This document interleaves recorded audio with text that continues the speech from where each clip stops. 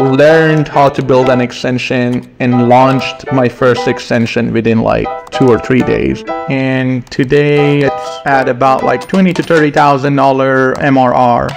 How does one guy make over $20,000 a month with a simple browser extension? Well, it's because he's building in the hottest niche in business right now AI. Saeed Ezzati started his journey as an employee, working for almost a decade in corporate America in different startups. But now he's a solopreneur, making a pretty good living while working on a side project he's passionate about. So, I spent over an hour talking to him and getting the complete scoop on his $20,000 a month AI business. Turns out, it's actually pretty simple and it's not as saturated as you might think. There's still plenty of opportunity, you just need to know where to look. In this video, Saeed shares a masterclass on building in AI, where to find good ideas, where to build those ideas, and some unique ways to monetize those ideas, even if you're a beginner. All right, let's get into it. I'm Pat Walls, and this is Starter Story. Welcome, Saeed. It's great to have you. Tell me about who you are and this business that you built. My name is Saeed. Um, I'm a software engineer. ChatGPT extension that I built is called Superpower ChatGPT. It's a browser extension basically that adds a bunch of extra feature to ChatGPT.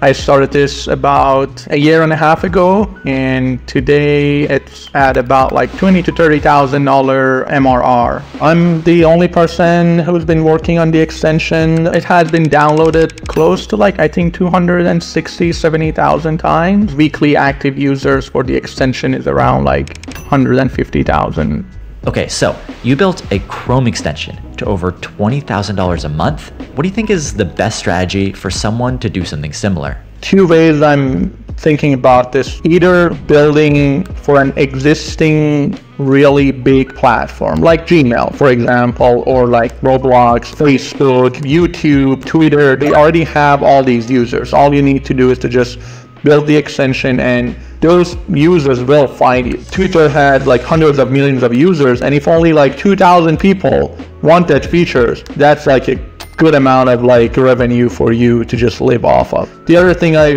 recommend is going after platforms that have like an existing marketplace but a smaller user base. Zoom or Salesforce, it's a lot easier to uh, compete in a marketplace like that. They have less number of users, but at the same time they have less number of people building for those platforms. So that's another good place to build some products.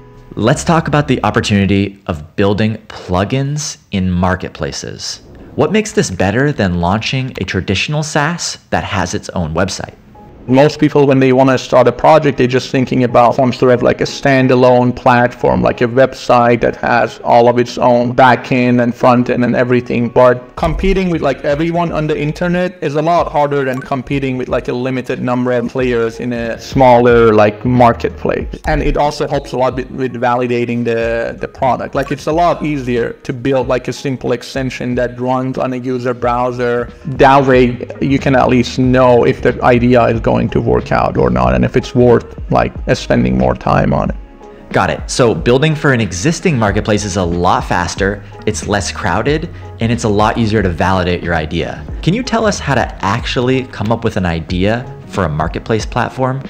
When ChatGPT was launched, I already had some ideas what features missing. And initially, when I was building these features, I was mainly building the extension for myself. And later, I tried to go find the places that my users will hang out. Subreddits are one of them. Discord channels are other one. Slack groups is another one. Facebook group is another one. I just like joined all these groups and I started listening to people and trying to figure out what features other people want to see in chat gpt i think this is probably one of the best way to like come up with idea. Just go where your potential customers hanging out and see what they are asking for and just try to build that. And this was actually one of my probably biggest like growth um, hack that I applied to this extension. Just listening to people, what they want, trying to implement the feature, and then going back and telling them that, okay, I added this feature. You can use this extension and have that feature as part of the ChatGPT interface.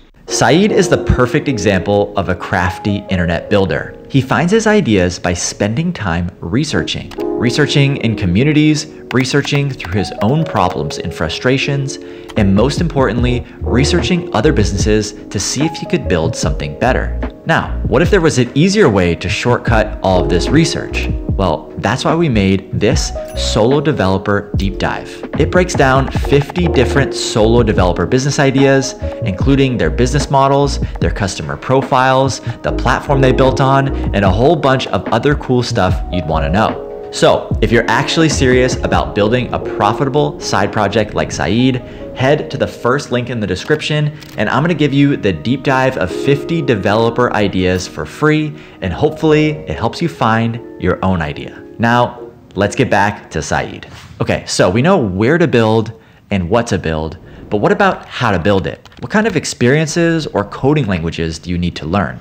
If you know how to build a simple website, you'll know how to build like an extension. JavaScript, HTML, CSS. That's how I built the very first version. It was very, very simple, only had like two features basically, but actually I have never built any browser extension before. I had learned how to build an extension and launched my first extension within like two or three days basically after ChatGPT was launched. So I'm not saying like every like simple project could work. Timing is really important here. I was really, really early. Okay, so you can find, build, and launch a product pretty quickly.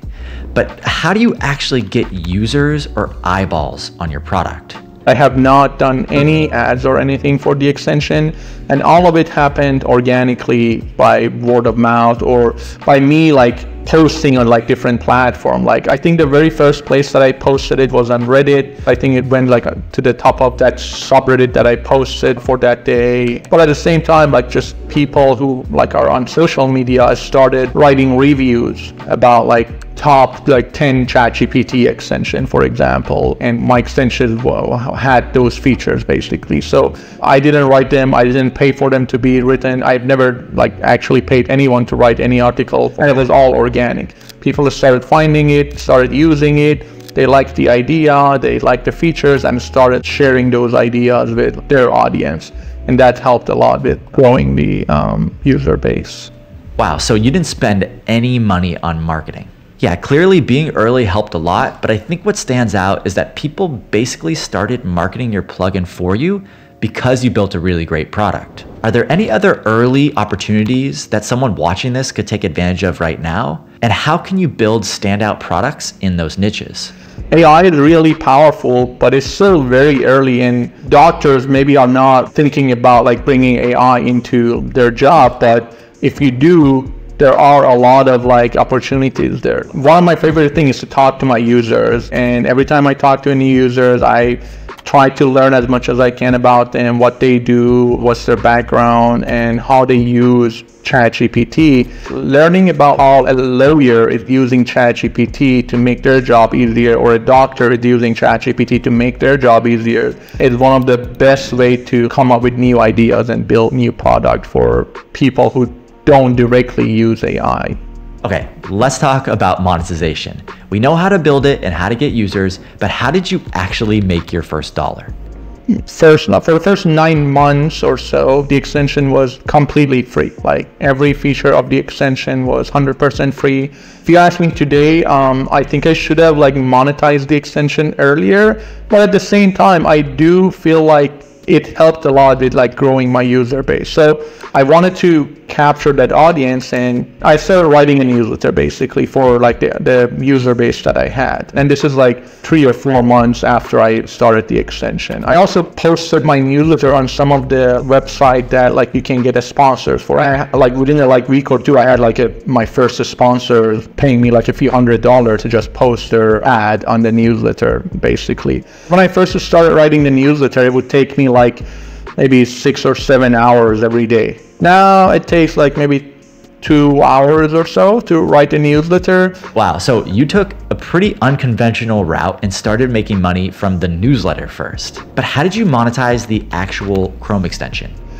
After like that like first nine or 10 months, I started to think about new features that I can add to the extension and ask people to pay for those extra features basically. So I didn't ask anyone to pay for any existing features that the extension had and all of those features stayed free. And i tried like different pricing like i experimented with like higher price lower price and i like kind of found like a middle ground there that i think was the best way to price the extension. So what are the coding languages tools and software you use to build as a solopreneur I spend most of my time inside VS Code. It's a code editor. Um, that's where I write all of my code for all of my projects. When I was building the extension, I went back to like pure JavaScript with no frameworks. I used AWS uh, for all of my backends. All of my projects basically live on like AWS. For like the newsletter, I use beehiiv. One of the nice thing about beehiiv is like their monetization features. They actually they have this thing called Boost. You can just like include some links in your newsletter and make money from it. I use Passionfroot. That's where people find me and reach out to me to, to sponsor the newsletter.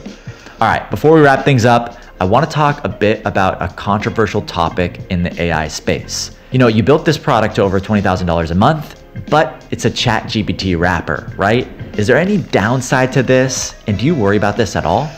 OpenAI can kill this product any day. I was scared of that for a very long time, and at this point, I kind of feel numb to it. I don't want to like worry about it today, literally. If my extension stop working at some point, I'm probably gonna try and build other extension for one of these other major platforms, which gonna make my my life a lot harder. All right, Saeed. Final question. What advice would you have to someone just starting out who wants to build their own software business or plugin inside of a marketplace? Try to validate the project as fast as you can. Just build the very first version and launch it and see if you get some users from it. Try to do that. And the, the other thing I mentioned this earlier, focus on your strengths. In my case, it was building a product, sharing it with people for free and like getting my first few users from that. So those two things are the most important thing in my opinion. Yo guys, I really hope you enjoyed the video and got some hopefully good tips and golden nuggets from Saeed. But I want to say something real quick. At the end of the day, the point of these videos is to show you ideas and show you it's possible. But hopefully you take these ideas and go start your own profitable thing and your own successful business. While learning this stuff is important, taking action is the thing that's actually gonna change your life. So spend time researching, learning, finding ideas, but then go build that thing as fast as you can. If you're still feeling a little lost on this right now, well, click the first link in the description and you're gonna get our free report of solo developer ideas that are actually making money right now so you can get going on your thing. Much love, and I'll see you guys in the next one. Peace.